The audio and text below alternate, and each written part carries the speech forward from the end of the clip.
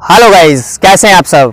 Interesting story से मैं सुनील कुमार आपके सामने एक बार फिर। एक समय की बात है कि एक महात्मा अपने शिष्यों के साथ आगे तरफ़ जा रहे थे। थे चलते चलते जब वो किनारे के पास पहुँचने वाले थे तो क्या देखते हैं कि एक परिवार था जो आपस में बात कर रहा था और एक साथी वो चिल्लाने लगा।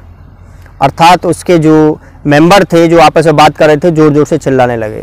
तो महात्मा थोड़े रुके, उनके साथ शिष्य भी थे और रुकने के बाद अपने शिष्यों से कहने लगे कि, इंसान चिल्लाता क्यों है? फिर दोबारा रिपीट की अपनी बात कि इंसान चिल्लाता क्यों है?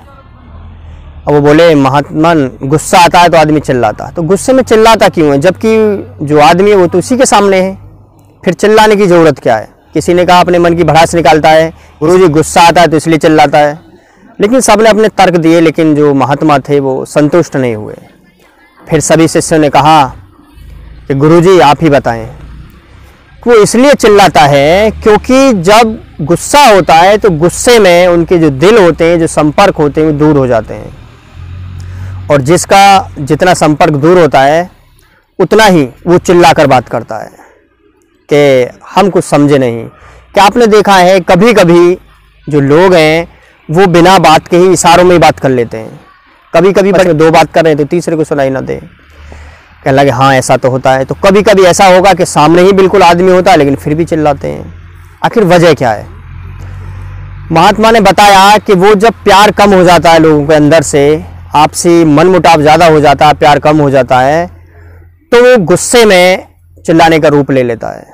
अर्थात उनके दिल एक दूसरे से काफ़ी दूर हो जाते हैं और इसलिए उसे सुनाई दे, इसलिए लोग चिल्लाते हैं। अर्थात जब तक उनमें आपस में प्रेम रहेगा, प्यार, मोहब्बत रहेगी तो आराम से भी बात करेंगे तो दूसरे को सब सुनाई देगा।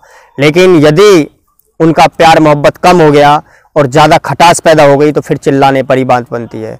या फिर मन मुटाव इतना हो जाता है, एक दूसरे की तरफ़ देखना पसंद नहीं करते। तो महात्मा ने अपने शिष्य को बड़ी अच्छी बात बताई। तो हम सबको भी इस बात पर ध्यान देना चाहिए कि हमें आपसी मन मुटाव नहीं करना चाहिए। आपसी मन मुटाव से जो हमारे दिल की दूरियाँ बढ़ जाती हैं और जो आगे चल बड़ी खतरनाक साबित होती हैं। आज की डेट में ज़्यादातर घर घर में ही ये बात होती है।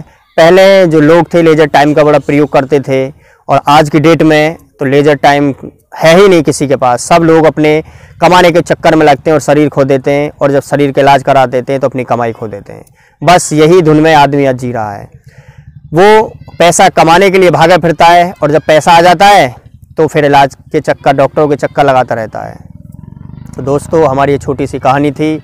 जो समझदारी की बात बहुत बताती है, इसलिए आपसे मनमुटाव को भुला करके आपस में प्रेम मोहब्बत से रहें। धन्यवाद।